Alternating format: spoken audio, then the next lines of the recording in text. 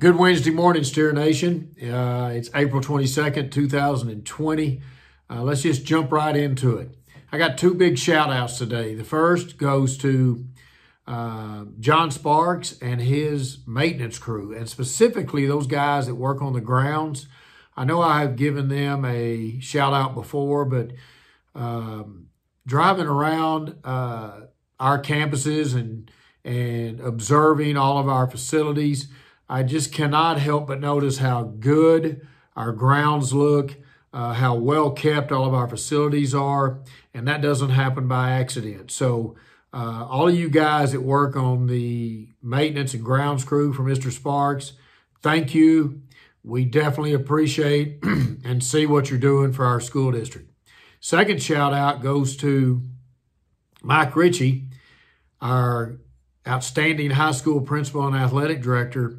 Yesterday, in case you missed it on the Big Spring ISD Facebook page, uh, Mr. Ritchie, with the help of several of his outstanding teachers, put together a very inspirational video that was directed towards the students of Big Spring High School. If you hadn't had a chance to check that out, uh, I invite you to go do that because it's very, very well worth the watch. Um, thank you, Mr. Ritchie. Thank you, teachers, for taking the time uh, to give an inspirational message to our kids. Um, yesterday, I did listen to the governor's press conference.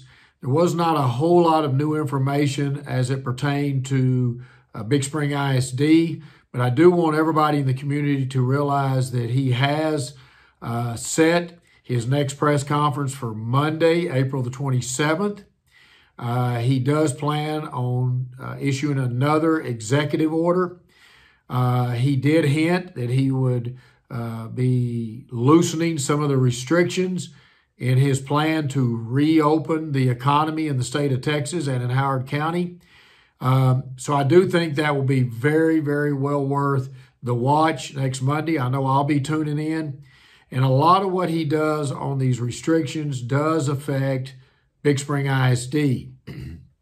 because when you look at, for example, moving forward with our graduation for the seniors of 2020, um, right now, even if we wanted to have a graduation uh, on May 22nd and do it somehow in person, because of the executive order that the governor gave, right now we could not do that.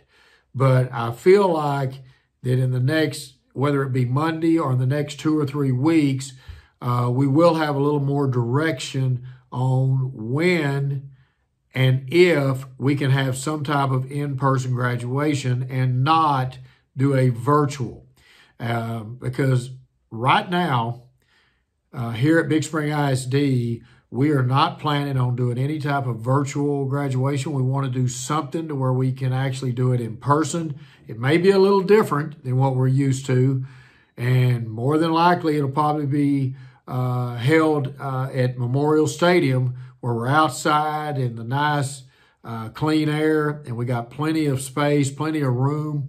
But uh, just know that we are still working on those plans. We're not ready to just cancel the date yet or set another sta- uh, date uh, until we have more direction. But just know we are working on that, and because you, the senior class of 2020, deserves that, and we're trying to do whatever we can do to make it a special occasion for you. Um, finally, uh, we are continuing, obviously, uh, giving instruction to your kids. We had a great turnout on the packet pickup on Monday and the uh, packet turn in on Monday.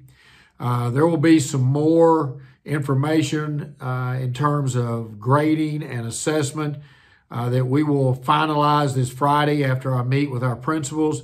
And uh, just be looking for that to be released so everybody will know um, where we're coming from on grading and assessment and where we're heading uh, as we plan on reopening school in the school year of 2020 2021 because I cannot wait to do that. I cannot wait to see the kids and the teachers because it's going to be a great day and a great time when that does happen.